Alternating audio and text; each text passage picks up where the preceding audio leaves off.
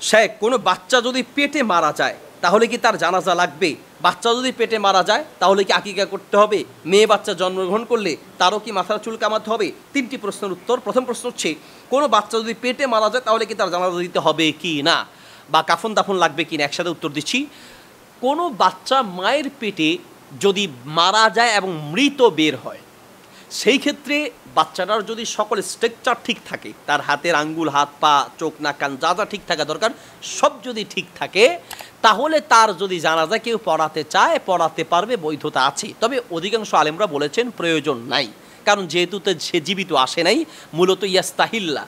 যদি কোনো বাচ্চা মায়ের পেট থেকে জন্ম হওয়ার পরে শুধু একটু চিৎকারও করে, একটু আওয়াজও করে বা একটু রু থাকে, তাহলে তার জানাজা লাগবে।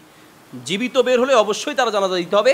মৃত যদি বের হয় অঙ্গ প্রত্যঙ্গ সব ঠিক থাকে তাহলে কোনো কোনো আলেম বলেছেন জানাজা দিতে চাইলে দিতে পারবে কিন্তু প্রয়োজন নাই।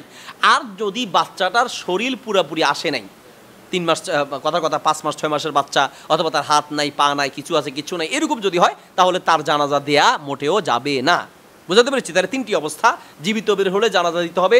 যদি পুরো শরীর সব ঠিক থাকে, মৃত বের হয়েছে, কিন্তু অঙ্গ প্রত্যঙ্গ সব ঠিক আছে, চাইলে জানাজা দিতে পারবে, তবে প্রয়োজন নাই। না দেওয়াটাই ভালো, অধিকাংশ আলেমদের মত। তিন নম্বর হচ্ছে, যদি তার স্ট্রাকচার ঠিক না থাকে, শরীর কিছু আছে, কিছু নাই, এমন ব্যক্তির জানাজা দেওয়া যাবে না। তবে মনে রাখতে হবে, বাচ্চা মায়ের পেট থেকে মৃত বের হোক, আর অঙ্গ প্রত্যঙ্গ ঠিক থাকুক অথবা না থাকুক, যেভাবে আসুক, তার কাফন কিন্তু লাগবে।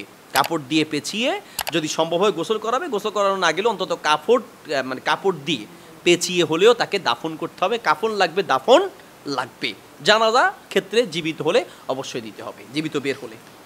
এরপর প্রশ্ন বাচ্চা যদি পেটে মারা যায় তাহলে কি আকিকা করতে হবে? জি বাচ্চা যদি পেটে মারা যায় তাহলেও তার আকিকা করা উচিত কারণ এই বাচ্চার সাথে কুল্লু গুলামিন রহিনাতুন বি আকিকাতিহি প্রত্যেকটা সন্তান আকিকার সাথে শর্তযুক্ত থাকে। এই জন্য মা বাবার জন্য যেন সন্তান সুপারিশ করতে পারে এই জন্য মায়ের পেটে মারা গেলেও সে সন্তানের আকিকা দেওয়া উচিত। মেয়ে বাচ্চা জন্মগ্রহণ করলেও কি তার চুল কামাতে হবে কিনা? আহ, আলেমদের মত হচ্ছে যে ছেলে বাচ্চা জন্মগ্রহণ করলে সপ্তম দিনে তার চুল কামানো উচিত।